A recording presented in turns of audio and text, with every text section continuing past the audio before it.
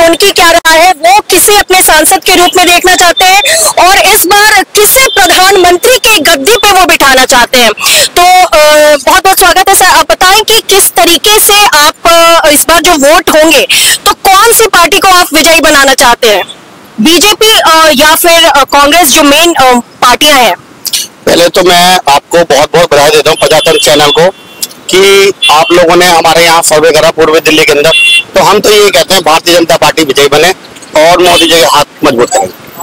जी मोदी जी के हाथ को मज़बूत करना है। जी हमारा एक लक्ष्य है भारतीय जनता पार्टी का हमारे जितने भी कार्यकर्ता हैं कार्यकर्ता ये कहते हैं 400 प्लस। हम ये कहते हैं मोदी जी के जितने हाथ मज़बूत होंगे उतना कार्य ज़्यादा होगा। पूर्वी दिल्ली के अंदर आप देख रहे हैं कि मनोज भैया ने कितने काम कराए कितने अनेकों काम है। स्कूल देख रहे विकास के कौन कौन से कार्य?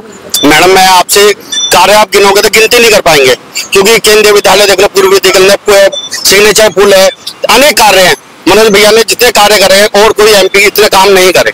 और आप देख रहे हैं, लगातार फॉलोइंग बढ़ती जा रही है। जनसंख्या ऐसा हर्ष उल्लास है लोगों में, जनता में, कि कह रहे हैं हाँ भाई, फिर मोदी जी का हाथ मज़बूत करेंगे। तो आपकी चार सौ का जो नारा है क्या लगता है पूरा होगा? मैडम बिल्कुल 400 पार है। आप लोगों का सहयोग मिलेगा भारतीय जनता पार्टी का सहयोग मिलेगा और जनता का सहयोग मिलेगा। बढ़ चढ़ के जनता ये कह रही है कि हमें मोदी जी चाहिए मोदी जी ही चाहिए और कोई चेहरा नहीं है। क्योंकि आप देख रहे हैं आप भी सर्वे कर रहे हैं हम भी सर्वे कर रहे हैं पार्टी की तरफ़ से। तो हम यही चाहते हैं कि भारतीय जनता पार्टी का दूसरी तरफ़ इंडी गठबंधन जो है वहाँ तो कई चेहरे हैं तो क्या लगता है? लेकिन एक मोदी ऐसा चेहरा है जो पूरी देश की जनता जिसे देखना चाह रही है। मैडम भारतीय जनता पार्टी एक ऐसी पार्टी है जो किसी भी, किसी को भी उठा के कहीं बैठा सकती है।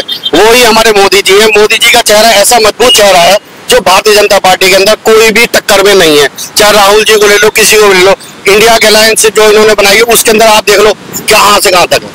राहुल गांधी जी, वो प्रधानमंत्री बनना चाह रहे लालू जी के लड़के, वो प्रधानमंत्री बनना चाह रहे कोई ऐसा चेहरा नहीं है जो मोटिव कर सके।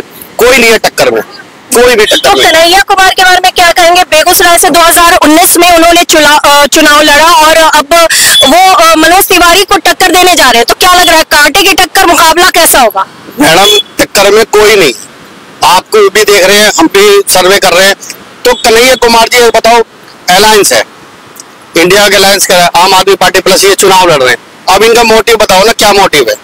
आप मोटिव बताओ ना क्या क्या इन्हों क्या उपलब्धि है? बेगूसराय से उठ के ये यहाँ आ गए चलो कोई बात नहीं, हर किसी को हक है इलेक्शन लड़ने कोई किसी जनता किसी को भी राजा बना सकती है, किसी को भी। और वो उनका सौभाग्य है, भारतीय भारतीय जनता पार्टी ने श्री मनोज तिवारी को टिकट दिया, इंडिया एयरलाइंस ने कन्हैया जी को टिकट दिया। मगर कन्हैया जी ने जो भाषण दिए जेएनयू में कि भारत तेरे टुकड़े होंगे इंशाल्लाह इंशाल्लाह, उससे पब्लिक में बहुत आक्रोश है।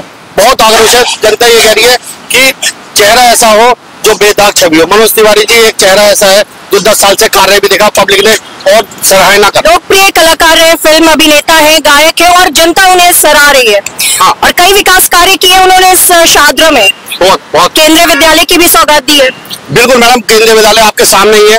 आप यहाँ पर है आप देख सकते हैं कि केंद्रीय विद्यालय कितना खूबसूरत बनाया है। और भी बुराड़ी में भी काम चल रहा है। आप जाके देखें बुराड़ी विधानसभा में जाके देखें वहाँ पर भी कार्य चल रहा है। और उसका भी बहुत से बहुत जल्दी से जल्दी उसका ओपनिंग हो जाएगी। जी बहुत बहुत धन्यवाद आपकी राय के लिए।